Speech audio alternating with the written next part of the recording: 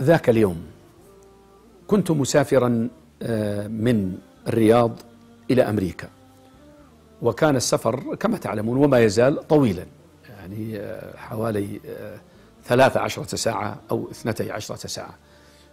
وقدر الله أن تكون مجاورتي في المقعد إحدى الفتيات التي صعدت إلى الطائرة بعباءتها وحجابها كاملا.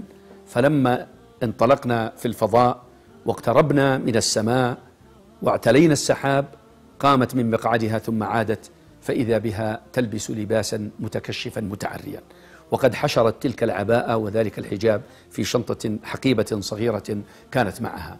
وجرت قصة طويلة موجودة في كتابي لا تغضب لمن أراد أن يطلع عليها بتفاصيلها لكننا آه، يعني هي آه، لما آه، عرفت عرفتني قالت أنا أحمد الله أنني سافرت بجوارك لأنني أكيد سأستمع إلى جميل القصائد والأشعار وكذا.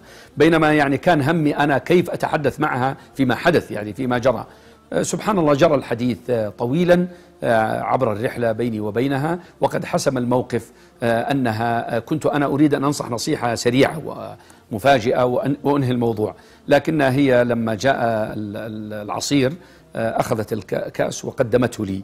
آه، فشكرتها وقلت في نفسي آه، أصبح الآن الموضوع موضوع حوار وليس موضوع نصيحة آه، مختصرة سريعة. فبدأ الحوار لم نصل بفضل الله تعالى إلى أمريكا إلا وقد أعادت حجابها كما كان. كانت هي تشكو أن زوجها حذرها أنها إذا جاءت لا تأتي بحجابها. قال لا أريد أن تنزلي المطار وأنت بحجابك.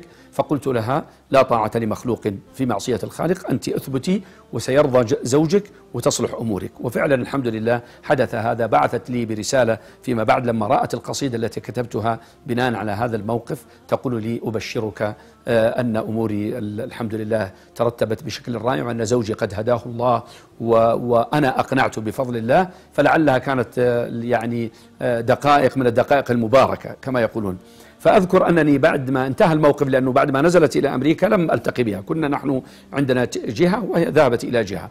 فكتبت قصيدة أقول فيها هذه العيون وذلك القد والشيح والريحان والند هذه المفاتن في تناسقها ذكرى تلوح وعبرة تجدو وعبرة تبدو عينان ما رنتا إلى رجل إلا رأيت قواه تنهد من أين أنت؟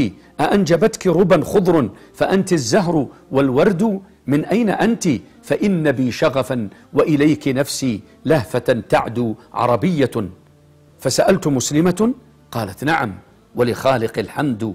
فسألتها والحزن يعصف بي والنار في قلبي لها وقد من أين هذا الزي؟ ما عرفت أرض الحجاز ولا رأت نجد. هذا التبذل يا محدثتي سهم من الإلحاد مرتد فتنمرت ثم انثنت صلفا ولسانها لسبابها عبد قالت أنا بالنفس واثقة حريتي دون الهوى سد فأجبتها والحزن يعصف بي أخشى بأن يتناثر العقد ضدان يا أختاه ما اجتمعا دين الهدى والفسق والصد والله ما أزرى بأمتنا إلا ازدواج ما له حد. والازدواجية أيها الأحبة أنتم تعلمون مع حتى علماء النفس يقولون الازدواجية النفسية هي أسوأ أمراض النفس. أن يصبح الإنسان آه، مزدوج الشخصية مزدوج التفكير مزدوج المعتقد.